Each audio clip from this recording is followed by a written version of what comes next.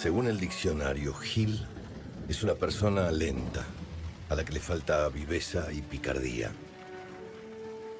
Aunque ya sabemos que laburante, tipo honesto, gente que cumple las normas, terminan siendo sinónimos de Gil. Pero un día, el abuso al que estamos acostumbrados los Giles se convierte en una verdadera patada en los dientes. Y uno dice, basta.